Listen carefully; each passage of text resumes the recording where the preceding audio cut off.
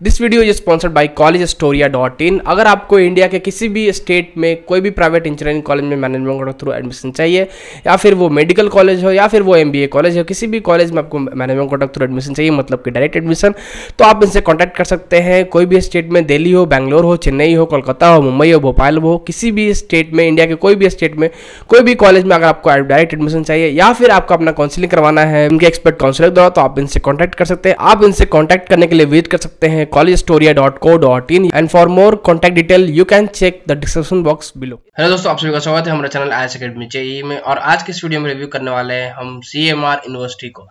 और आपको लास्ट में अपने ओपिनियन देंगे कि इस कॉलेज में एडमिशन लेना बहुत ठीक होगा या फिर नहीं होगा। इस वीडियो को कहीं भी स्किप मत कीजिएगा। इस वीडियो को अभी लेकर लास्ट तक देखते रहिए।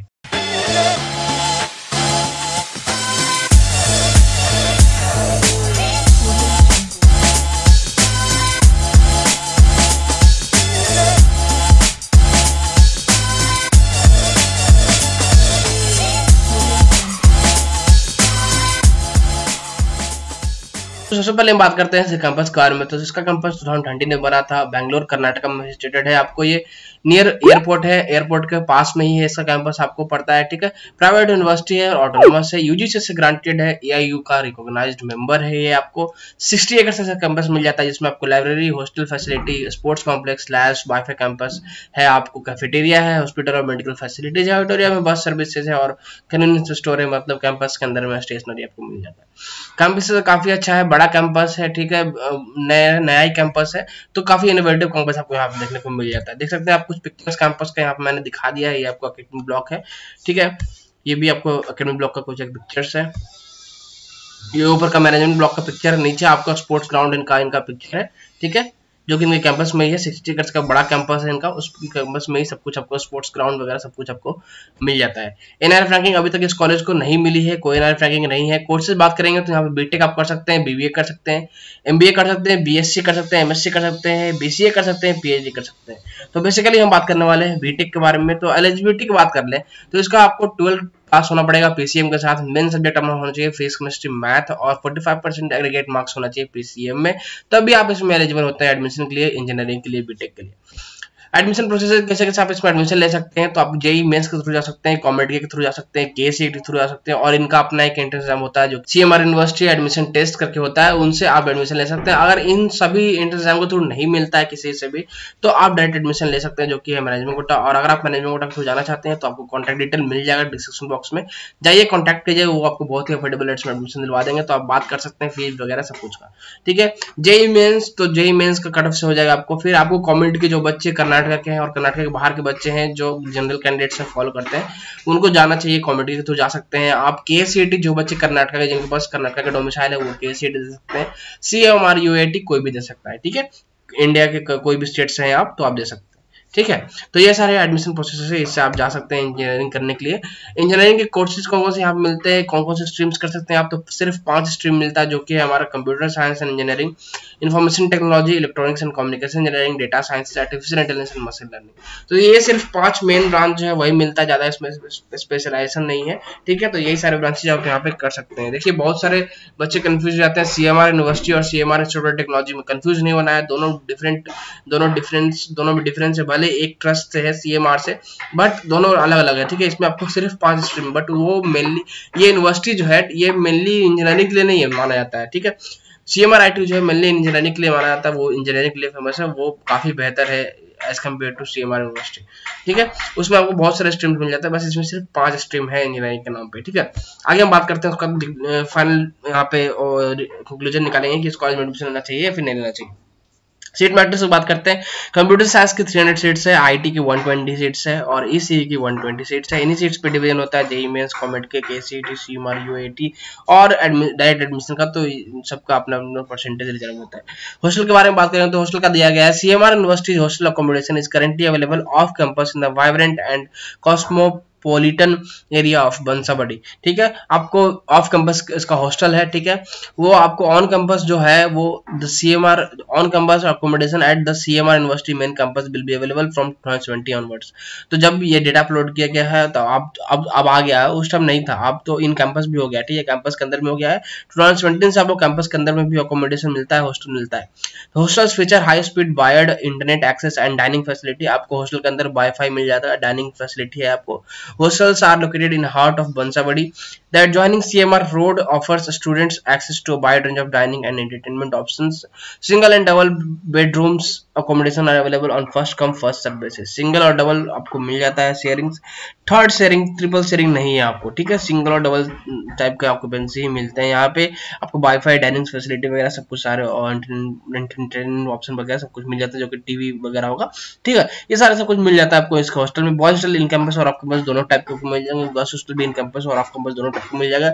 अब बच्चों को डाउट होगा कि भैया मैं ऑफ़ कैंपस रहूँगा तो मुझे ट्रैवलिंग खुद से देखना पड़ेगा क्या? नहीं नहीं, उसके लिए कॉलेज वाले खुद आपको प्रोवाइड करते हैं बस सर्विस वो फ्री ऑफ़ कॉस्ट होता है इंक्लूडिंग हॉस्टल फ़ी में ही इंक्लूड करके दिया जाता है। ठीक है तो उसके लिए आप टेंशन फ्री रहेगा तो डिपेंड करता है कि आप कहाँ रहना चाहते हैं, आपको कहाँ अच्छा लगता है रहना कैंपस के अंदर में या फिर कैंपस के बाहर में भी, कहीं भी रह सकते हैं ठीक है, आपके ऊपर है। और ये, जिस टाइप का आपको पेंसिल लेना चाहेंगे, वो first come first serve basis पे हिसाब से दिया जाता है।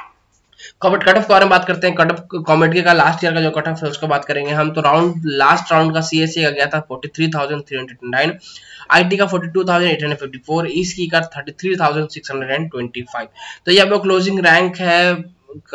सी एम आर यूनिवर्सिटी का लास्ट ईयर कॉमेडी का तो बहुत नीचे तक कटक चला जाता है तो आप इस सबसे देख सकते हैं, अगर आपको forty thousand forty five thousand भी आया तो इसमें आराम से कंप्यूटर साइंस मिल सकता है। जैसे मैंने बताया आपको कि इन दोनों कॉलेज में डिफरेंस है C M R I T और सी एम आर यूनिवर्सिटी ज़्यादा फ़ेमस है C M R I T ज़्यादा अच्छा C M R I T इस कारण से इसका कट ऑफ़ जो है बहुत नीचे तक चला जाता है। C M R I T का तो बहुत ऊपर तक कट ऑफ़ क्लोज हो जाता है। सी एम आर यूनिवर्सिटी का नीचे तक कट ऑफ़ चला जाता है, ठीक है? तो अगर आपको कम रैंक आया तो आप उसको एक ऑप्शन रख सकते हैं but still wait for my opinion wait for the placement statistics ठीक है?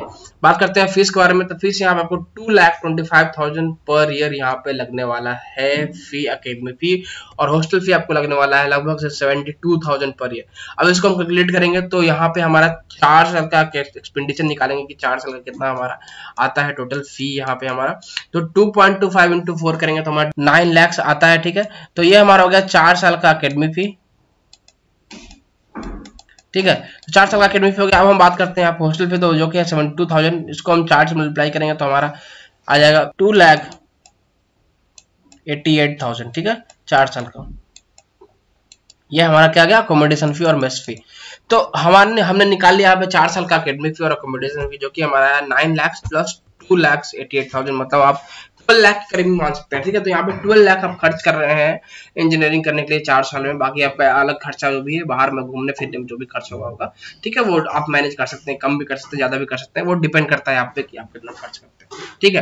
अरे आप ट्वेल्व लाख कर रहे हैं तो आराम से ये अफोर्डेबल है अच्छा ठीक ठीक फ़ी है, ज़्यादा फ़ी नहीं है, ज़्यादा हाई फ़ी नहीं है, ज़्यादा लो भी नहीं है, ठीक ठाक फ़ी है मतलब इतना फ़ी नॉर्मल जी नॉर्मली जो है बैंगलोर कॉलेजेस में लगता ही है, ठीक है? इतना एक्सपेंड होगा ही आपको चलिए बात करते हैं प्लेसमेंट के बारे में। हाईएस्ट पैकेज जो लगा इस ईयर वो 11 लाख पर लगा। एवरेज पैकेज लगा 4.3 लाख पर देखिए प्लेसमेंट के नाम पे, इनके वेबसाइट पे ज़्यादा कुछ नहीं दिया गया, बस ये एक दिखाया गया है और कंपनी जो जो आते हैं, उनके बारे में दिखाया गया है।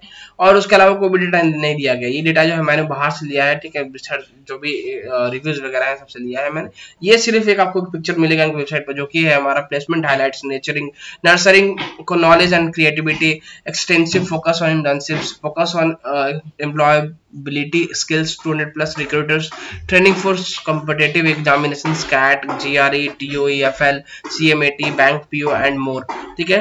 तो ये सब कुछ दिया गया है। देखिए नंबर ऑफ़ ऑफर्स कितने आए? तो 2021 में 115 115 ऑफर्स आए थे ओनली 2022 में इस ईयर 630 ऑफर्स आए। तो काफ़ी अच्छा जंप हुआ है और नंबर ऑफ़ ऑफर्स का। बहुत अच्छा इंप्रूवमेंट हुआ है इसमें नंबर ऑफ़ ऑफर्स का। ठीक है? और ये सारे कंपनी जहाँ पे वेट करते हैं, जैसे इन्फोसिस हो गया डिलाइट हो गया फ्लिपकार्ट हो गया आईबीएम हो गया यूनिसिस हो गया जोमेटो हो गया जो हो गया डेल ईएमसी हो गया एडुरेका हो गया। ये सारे कंपनीज़ यहाँ पे आते हैं विज़िट करते हैं विप्रो प्लेसमेंट के लिए तो ऑफर्स आपको मिलेंगे। ठीक है? सो अब मुझसे आप ओपिनियन पूछे कि आपको ये कॉलेज में एडमिशन लेना वर्थ इट होगा या फिर नहीं होगा। तो मेरा ओपिनियन ये होगा कि आपको इस कॉलेज में एडमिशन लेना वर्थ इट नहीं होगा। इसके जगह पे आप दूसरा कॉलेज देख सकते हैं बिकॉज़ जो प्लेसमेंट है वो आपको सही से परफेक्ट डेटा नहीं दिखाया गया। ठीक है? छिपा के दिखाया गया। पूरा प्रॉपर आपको यहाँ पे नहीं दिखाया गया। इसका मतलब यही है कि इनका डेटा सही नहीं है। ठीक है? तो आप, इसका प्लेसमेंट जो है उतना अच्छा अभी फ़िलहाल नहीं है क्योंकि नया कॉलेज है। ठीक है? बट वही अगर बात करते हैं आप सी का सो लोग सोचते क्या है कि सी है तो सी आर आई टी बहुत अच्छा है तो सी यूनिवर्सिटी भी बहुत अच्छा है। नहीं, ऐसा नहीं है। सी एम आर यूनिवर्सिटी में हर शुरू से कहता हूँ सी यूनिवर्सिटी उतना अच्छा नहीं है। अगर आप रिकमेंड करना चाहेंगे, मेरे से आप रिकमेंडेशन लेना चाहेंगे तो आपको मैं सी एम रिकमेंड करूँगा as compare to C university ठीक है? अगर आप उन दोनों में कंपेरिजन कीजिएगा तो वरना सी एम आर यूनिवर्सिटी से भी काफ़ी बेहतर कॉलेजेस है इस रैंक पे जो आपको मिलते हैं, ठीक है? वो आप देख सकते हैं, आप कट ऑफ़ वगैरह देख सकते हैं प्रीवियस ईयर के।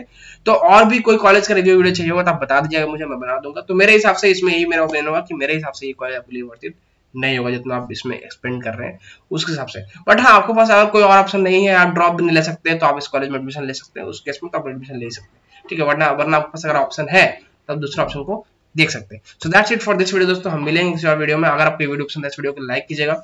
अगर आपने हमारे चैनल को तो सब्सक्राइब नहीं किया, हमारे चैनल को सब्सक्राइब कीजिएगा। मिलते हैं किसी वीडियो में। Thanks for watching